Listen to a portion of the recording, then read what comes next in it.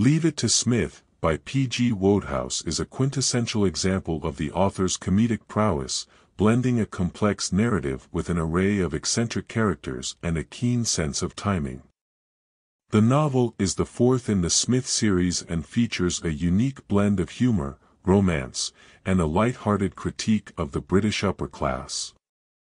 At the heart of the story is Rupert Psmith, a charming and resourceful young man who adopts the pseudonym Psmith and offers his services to solve any problem, no matter how trivial or grandiose. Psmith's character is a study in Wodehouse's talent for creating whimsical yet endearing protagonists. His wit, self-confidence, and relentless optimism are central to the novel's appeal, making him an unforgettable character in Wodehouse's literary pantheon. The plot revolves around Psmith's decision to assist Eve Halliday, a young woman working at Blandings Castle, who is disillusioned with her job and the mundane realities of life. Psmith's promise to leave it to him sets off a chain of events that involve mistaken identities, elaborate schemes, and a series of comedic misunderstandings.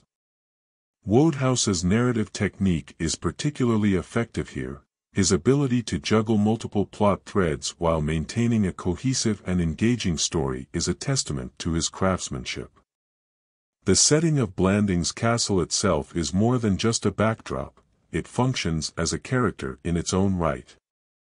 The castle, with its grandiosity and the peculiarities of its inhabitants, exemplifies the quintessentially British setting that Wodehouse so often employs. The residents of Blandings Castle, including the absent-minded Lord Emsworth and the officious Lady Constance, provide a rich tapestry of characters whose interactions fuel the novel's comedic engine. One of the novel's strengths lies in Wodehouse's masterful use of language. His prose is marked by a unique blend of elegance and absurdity, characterized by clever wordplay and sharp dialogue. Wodehouse's use of irony and satire is gentle yet incisive, offering a humorous critique of the British aristocracy and their idiosyncrasies. The humor in Leave It to Psmith is timeless, relying on character-driven comedy and situational irony rather than dated cultural references, which ensures its enduring appeal. The romance between Psmith and Eve Halliday is another key element of the novel. It is handled with a light touch, blending seamlessly into the broader comedic narrative. The evolution of their relationship is depicted with subtlety and charm, avoiding the pitfalls of sentimentality. Wodehouse's treatment of romance is characterized by its wit and sophistication, making it a natural extension of the novel's overall tone.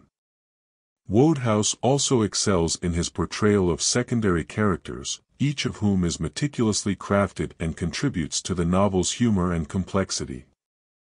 Characters like the ambitious yet bumbling Freddie Threepwood and the pretentious poet Ralston McTodd add layers of comedic intrigue to the story.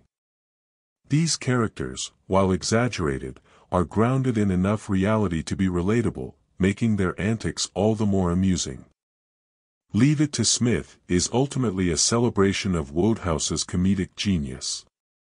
His ability to create a world that is simultaneously absurd and endearing is unparalleled.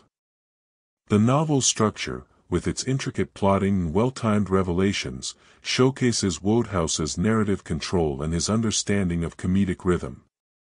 Each chapter builds upon the previous one, culminating in a satisfying and humorous resolution that ties together the various plot threads. In conclusion, Leave It to Psmith stands as a testament to P.G. Wodehouse's skill as a humorist and storyteller.